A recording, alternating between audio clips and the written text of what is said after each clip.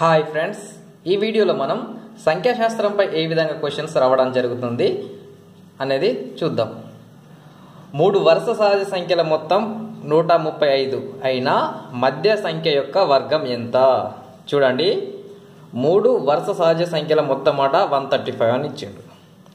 అయినా మధ్య middle number యొక్క వర్గం అంటే స్క్వేర్ వాల్యూ ఎంత అని అడిగాడు. ఒకటి రెండు మూడు ఈ విధంగా ఉంటాయండి. మనకి ఇక్కడ మూడు వరుస సహజ సంఖ్యలను ఇచ్చింది కానీ ఏ సంఖ్యలను ఇవ్వలే. వీటి మొత్తం ఎంత అన్నాడు? వన్ థర్టీ ఫైవ్ అన్నాడు. అయితే మనం ఫస్ట్ నెంబర్ని ఎక్స్ అనుకుందాం. ఎక్స్ ప్లస్ చూడండి ఇక్కడ ఒకటి అయితే ప్లస్ వన్ చేస్తే ఎంత వస్తుంది? టూ అవుతుంది ప్లస్ వన్ చేస్తే త్రీ అవుతుంది x plus x plus one plus x plus దీనికి ఎంత కలపాలి రెండు కలపాలి. టూ ఈజ్ ఈక్వల్ టు ఎంత? వన్ థర్టీ ఫైవ్ అయితే ఇప్పుడు వీటిని మూడింటిని ప్లస్ చేద్దాం. ఒకటి రెండు మూడు. త్రీ ఎక్స్ ప్లస్ ఒకటి ప్లస్ రెండు. ఎంత? మూడు. Is equal to one thirty five three x is equal to ఈ త్రీని ఇటు తీసుకోపోండి. One thirty five minus three. ఇక్కడ ప్లస్ ఉంది కదా ఇక్కడ minus. Three x is equal to one thirty two. ఇప్పుడు ఈ త్రీని కూడా ఇటు తీసుకోపోండి. X is equal to one thirty two by three. మూడు నాలుగు పన్నెండు మూడు నాలుగు పన్నెండు. సో ఇప్పుడు ఎక్స్ ఈజ్ ఈక్వల్ టు ఎంత? నలభై నాలుగు. మనకు వచ్చింది ఇది మొదటి నెంబర్ అండి ఎక్స్ మనల్ని అడిగింది ఇక్కడ మధ్య అంటే middle number x plus one అడిగిండు. X plus one x is equal to forty four plus one ఎంత? ఫార్టీ ఫైవ్ ఇక్కడ అడిగింది ఏంది? వర్గం స్క్వేర్ వాల్యూ అడిగిండు. సో ఎంత అవుతుంది ట్వంటీ ఫైవ్ ఫైవ్ ఐదు నాలుగు ఇరవై. రెండు వేల ఇరవై ఐదు. సో ఈ విధంగా చేసుకోండి. దీనికి షార్ట్కట్ చెప్పండి అంటే షార్ట్కట్ కూడా ఉందండి. చాలా సింపుల్.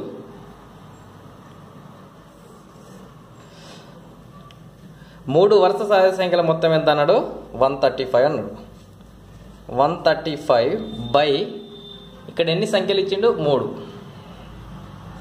మూడు వేయండి మూడు నాలుగు పన్నెండు మూడు ఐదుల పదిహేను. సో ఎంత వచ్చింది? Forty five. ఇది డైరెక్ట్ ఈ విధంగా చేస్తే మధ్యలో నెంబర్ వస్తుంది మిడిల్ నెంబర్ వస్తుంది. దీన్ని స్క్వేర్ చేసుకుంటే మనకు ఇది ఆన్సర్ వస్తుంది. ఈ విధంగా చేసుకోండి. అదే ఇక్కడ ఐదు అన్నాడు అనుకో ఈ మొత్తం బై ఫైవ్ వేయాలి.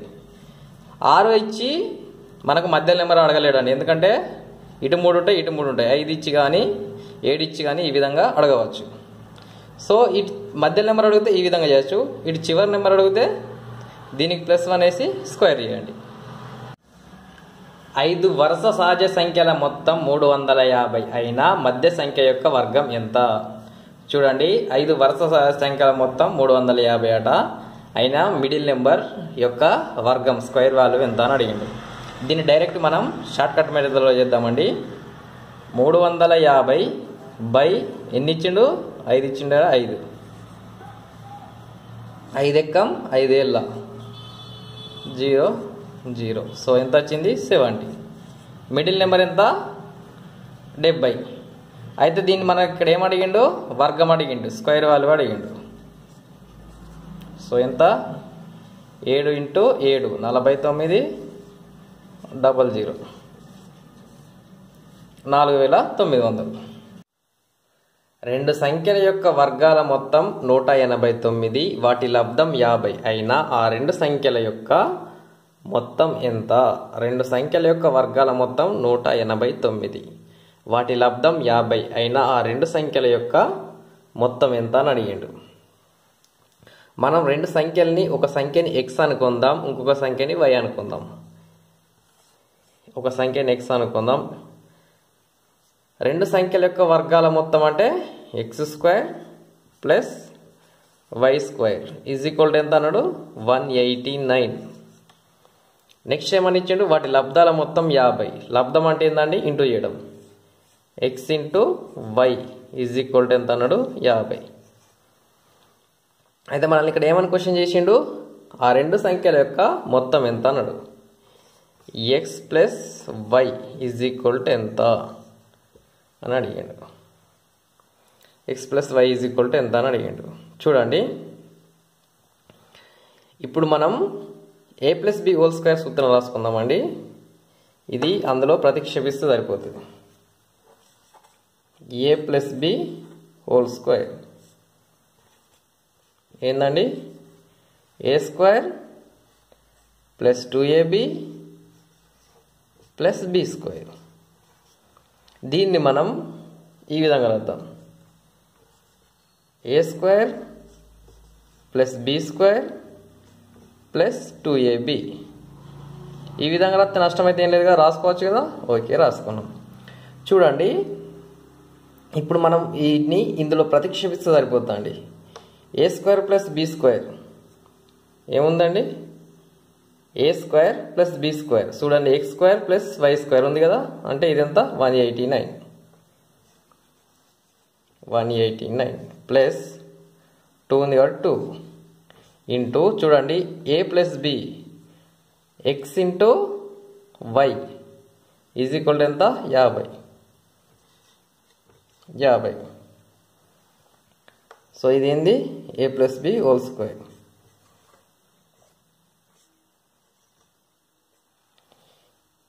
ఇప్పుడు one eighty nine plus two into యాభై. ఎంత? హండ్రెడ్ సో ఎంత అవుతుంది?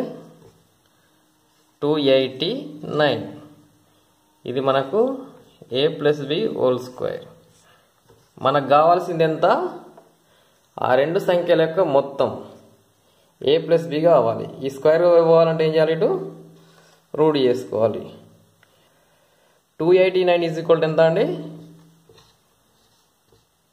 సెవెంటీన్ సో ఇప్పుడు x plus y is equal to ఎంత? సెవెంటీన్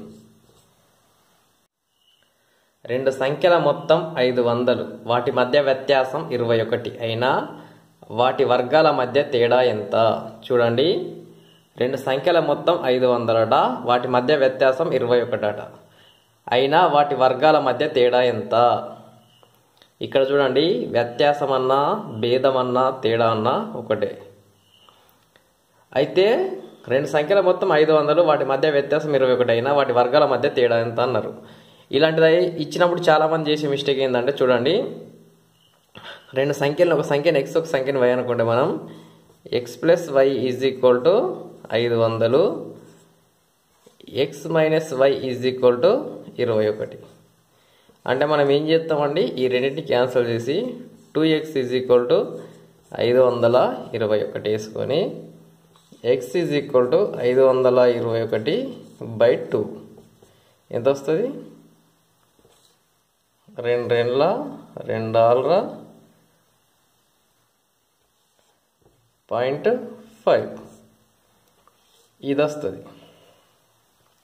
వచ్చిన తర్వాత మళ్ళీ వై విలువ కనుక్కోవాలి. వై విలువని ఇప్పుడు ఐదు వందల అలాకెళ్ళి దీన్ని తీసేయాలి. ఐదు వందలు మైనస్ రెండు వందల అరవై. Point five. పాయింట్ ఫైవ్ తీసేస్తే నైన్ త్రీ టూ. ఇప్పుడు దీన్ని స్క్వేర్ చేసి దీన్ని స్క్వేర్ చేసి మైనస్ చేయాలనుకుంటాండి వాటి వర్గాల మధ్య తేడా. ఇదంతా ఏం చేయకండి ఇదంతా కన్ఫ్యూజన్ ఇచ్చిన రెండు నెంబర్లు ఇంటూ చేసుకున్నా అంతే. ఐదు వందలు ఇంటూ ఇరవై ఒకటి. ఇదే వచ్చింది మనకు ఆన్సర్ ఏ విధంగా మీరు అడగవచ్చు చూడండి. ఇది ఎందుకు ఈ విధంగా ఇంటూ చేయాలని మీకు డౌట్ రావచ్చు. X plus y is equal to ఐదు వందలు. X minus y is equal to ఇరవై ఒకటి ఇప్పుడు ఈ రెండింటిని ఇంటూ చేద్దామండి. X plus y into x minus y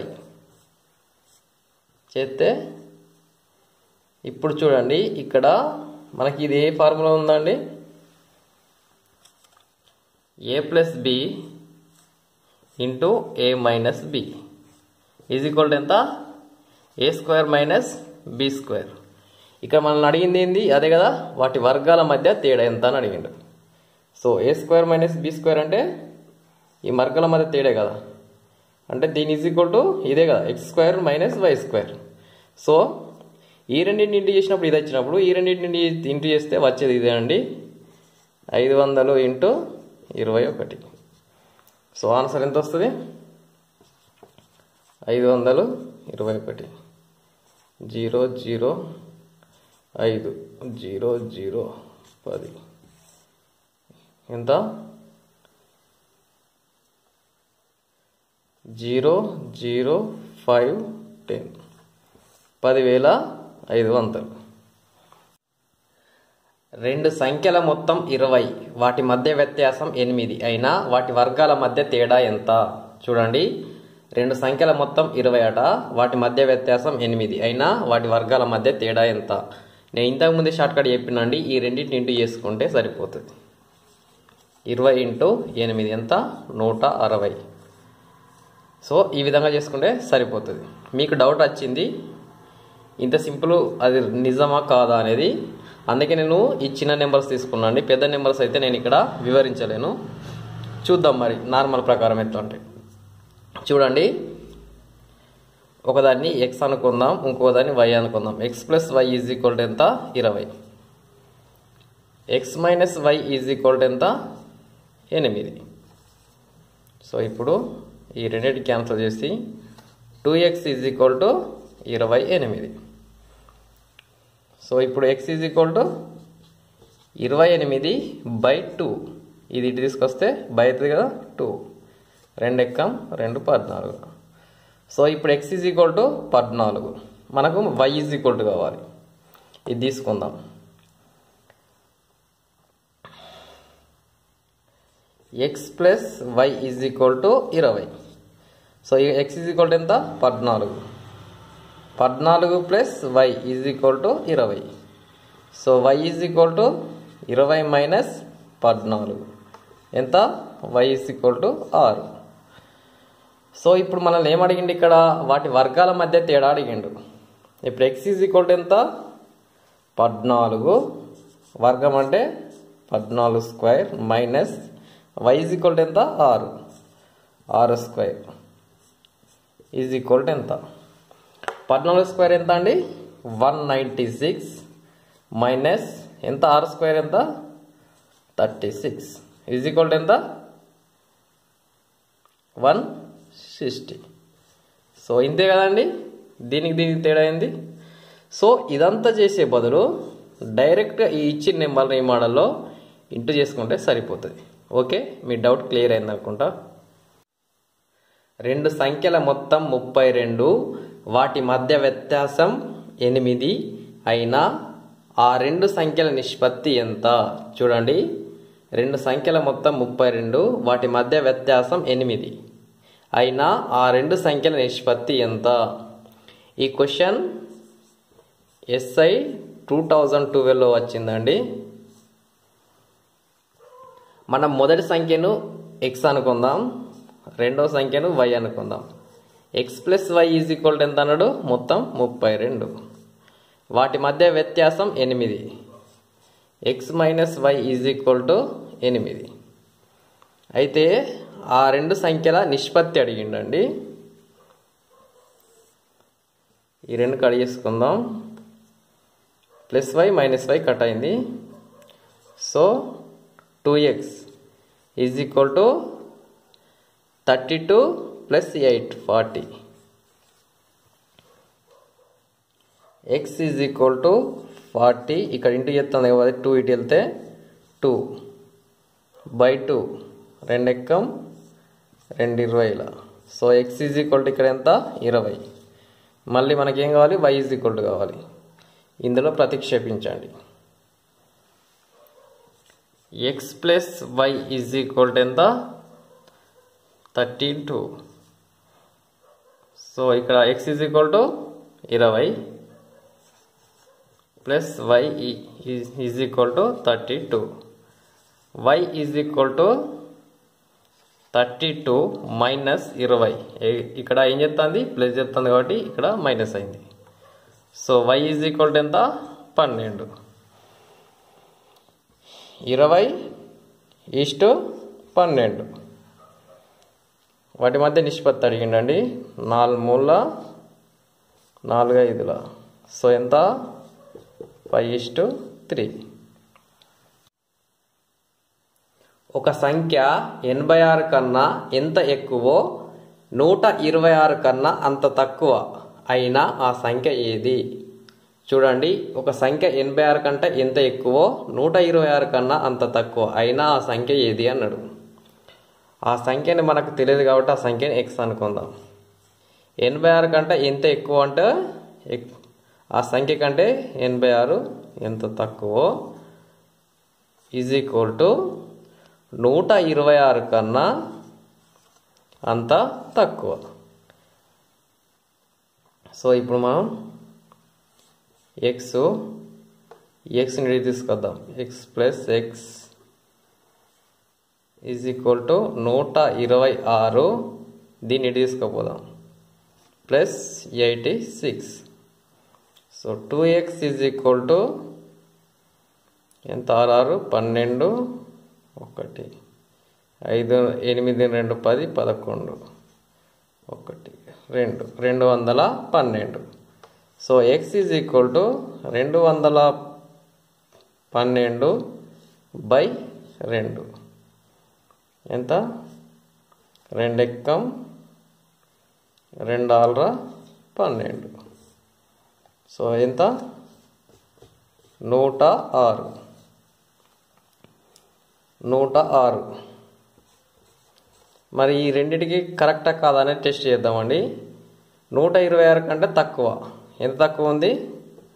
నూట ఇరవై ఆరు మైనస్ నూట ఆరు. ఎంత? ఇరవై తక్కువ ఉన్నది. ఎనభై ఆరు కంటే ఇరవై ఎక్కువ ఉండాలి. ఈ ఎనభై ఆరుకు ఇరవై కలిపితే నూట అరవై ఆరు వంద. పర్ఫెక్ట్ ఓకే ఫ్రెండ్స్ ఈ వీడియో నచ్చితే లైక్ చేయండి నా ఛానల్ యొక్క అప్డేట్స్ కావాలనుకుంటే సబ్స్క్రైబ్ చేసుకోండి. Thank you watching this video